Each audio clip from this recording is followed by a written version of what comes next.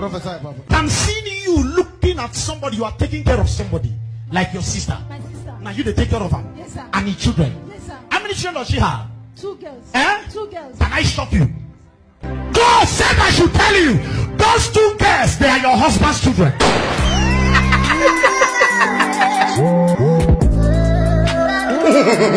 children.